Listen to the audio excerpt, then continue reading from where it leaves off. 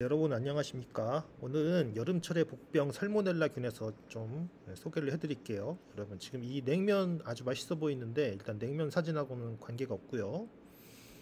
자 얼마 전에 충격적인 소식이 있었죠?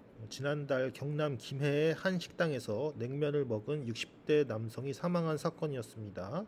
네, 이곳에서 냉면을 먹은 손님 중에서 34명이나 식중독에 걸렸다고 하는데요. 네, 사망한 남성의 부검 결과 사망 원인이 폐혈성 쇼크로 밝혀졌다고 합니다. 예, 그러니까 살모넬라균이 혈관까지 침투해서 온몸에 염증을 일으킨 것입니다. 그런데요, 저, 여러분 저도 잘 몰랐는데 지난해에도 이와 유사하게 경기도 고양시의 한 김밥집 고객 30명이 식중독 증세를 보였다고 하네요.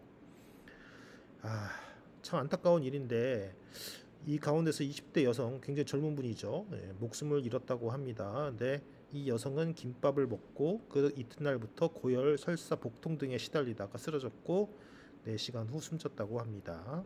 네, 이 두 사건 모두 공통점이 있는데요. 바로 계란 지단에서 살모넬라균이 검출되었다고 하는 것입니다. 그래서 여러분 살모넬라균은요 닭이나 돼지, 돼지 등 가축의 장내에서 서식하고요. 그래서 근데 이러한 육류를 익히지 않고 섭취할 경우에 복통이나 설사, 뭐 구토, 발열 등을 일으킨다고 하네요. 식약처에 따르면 최근 5년간 모두 110건 6,838명의 살모넬라 식중독 환자가 보고됐다고 하니까요.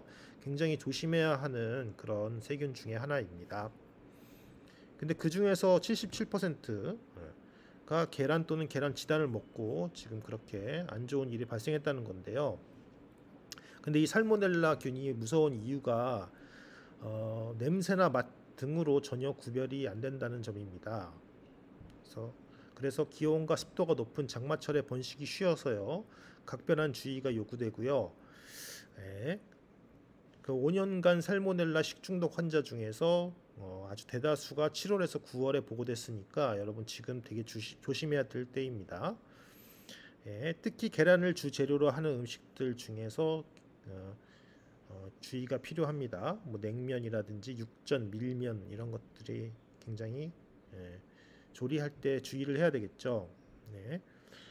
아, 이러한 음식들은요 간접적으로 이제 계란 지단이 들어가기 때문에 신경을 안 쓰면 덜 익은 상태가 될 수 있습니다. 그러니까 굉장히 조심해야 되고요. 근데 그렇다고 우리가 또 계란을 먹지 않을 수는 없죠. 그래서 어떻게 지금 해야 되는지 예, 그 방법을 지금부터 가르쳐 드리겠습니다. 우선 달걀을 구입할 때 균열이 없고요. 냉장 보관된 것을 선택해야 되고요.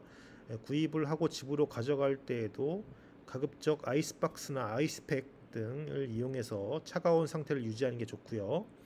그리고 되도록 집에 오자마자 냉장고에 달, 달걀을 옮기고 교착 오염을 막기 위해서 다른 채소 등과 직접 닿지 않도록 하는 것이 중요합니다. 그리고 가장 중요한 것이 요리 온도인데요. 75도 이상에서 적어도 1분 이상 이렇게 충분히 가열해야 균이 죽는다고 합니다. 여러분 지금 살모넬라 균으로 인해서 사망자도 발생하고 있고 하는 시점이고요. 또 폭염이 계속 기승을 부린다고 하니까 항상 조심해야 될 것 같습니다. 네, 조심한다고 나쁠 게 없겠죠.